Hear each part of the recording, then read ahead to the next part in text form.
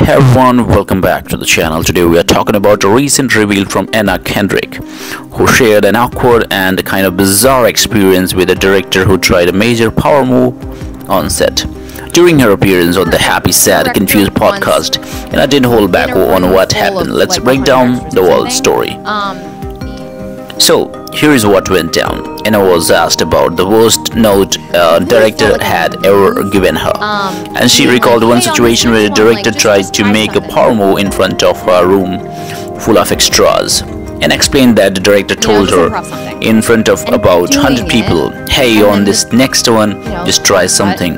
Make something up, just improvise. And I went with it and added some improv to her take, but things took an awkward turn. When she finished, the director walked her once again in front of the whole room and said, "Let's go back to the script." According to the um, the whole thing felt like a power move, almost as if director wanted to show dominance or authority in front of everyone. And let's be honest, there is something about asking someone to improvise and then shutting it down in front of a crowd that feels well a little off.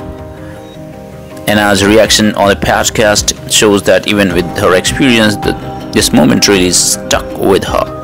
It's a reminder of the strange dynamics actors can feel on set, even for someone as seasoned as Anna. What would you like to say about it? You can let us know. Bye bye for now. Thanks for watching.